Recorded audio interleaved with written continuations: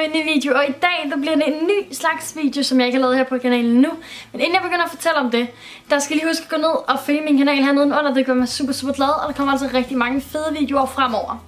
Men i dag der bliver det en lidt anderledes video, fordi at jeg har tænkt mig at lave en ny serie, som lidt skal lyde på, at jeg kommer til at reagere til trailer til biograffilm, hvor jeg så derefter tager ind og ser biograffilmen, og så fortæller jeg om, hvad jeg synes om selve filmen. Øhm, så ja, i dag der er det simpelthen filmen Love Simon, vi skal til at reagere på, og jeg har traileren fremme her. Jeg tænker, vi ser traileren sammen. Okay, så nu starter vi på den her trailer fra Love Simon. Øhm, ja, lad os egentlig bare se den.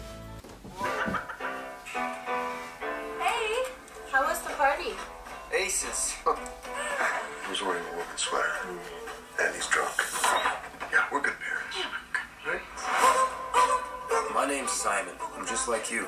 I have a normal family, amazing friends, typical high school. You know, there's no texting in the halls, dude. Come on, I can't have all my students tendering up. Right. That's my department. A lot of my life is great, except I have one huge ass secret. hey, Have you seen the new post about the closeted gay kid at school? Who do you think it is? You're Blue, I'm just like you. Nobody knows I'm gay.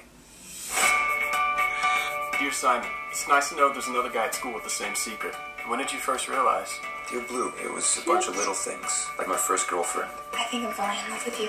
Be right back. Wasn't my proudest moment.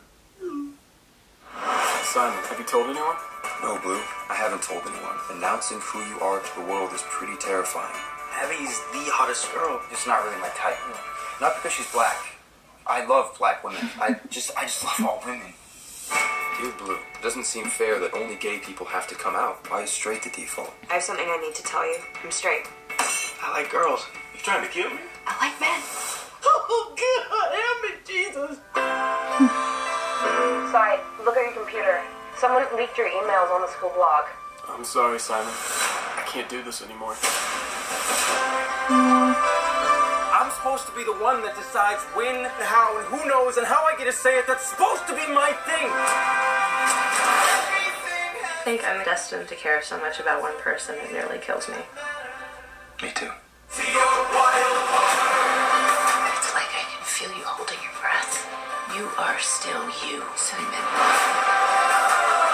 Have you ever been in love? I don't know. I think so. Dear Blue, I might not know your name or what you look like, but I want to find you.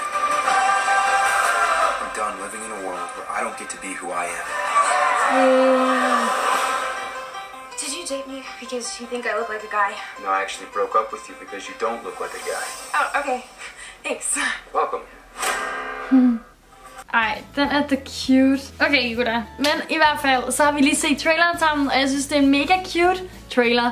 Altså, den giver jo ligesom sådan et billede af, at filmen nok er om den her fyr, der er bøsse, homoseksuel, øhm, som har svært ved ligesom at springe ud. Han synes, det er unfair, at homoseksuelle, altså han skal springe ud, og at heteroseksuelle bare, ja, ikke skal springe ud. Øhm, men den, den virker jo mega cute. Øhm, yes. Men lad os lige sådan spole frem til der, hvor jeg har set. Gutter, here, here I am again with the ticket here. Jeg var inde og se Love Simon i går med Sofie, Emilie og Fine. Øhm, lidt squat. Men øh, vi var inde og se Love Simon, og det var her cute, mega mega cute film. Hvor at man bare sidder og, altså det var sådan virkelig sådan rørende og sådan lidt, ikke? Det var sådan her cute, han sådan skrev med blue, sådan lidt den der ting, og bare sådan cute, når han sådan endelig sådan springer ud, og sådan nogle samtaler, han havde med sine forældre, de var her her cute. Men det er en vildt god film. Jeg vil helt klart anbefale alle at gå ind og se den film. Måske mere til piger end drenge, tror jeg. Drenge kan sikkert også godt se den. Den er bare sådan lidt en tøset film, for den er sådan lidt cute i det, med sådan, man har lyst til at kramme ham.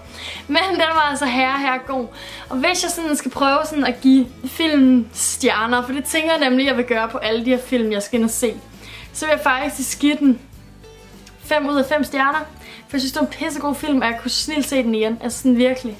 Jeg var sådan, jeg var sådan, jeg fældede lige en tårer undervejs i filmen. Og det synes jeg, altså, det er så en film. Men guys, jeg håber, at I synes, det her har været en sjov video. Glæder jeg til det, hvis I synes, det var sjovt. Og så håber jeg, at I, I vil like videoen og følge min kanal. Det vil gøre mig super, super glad. Og så er der ikke andet end at sige, at vi ses i min næste video. Hej hej!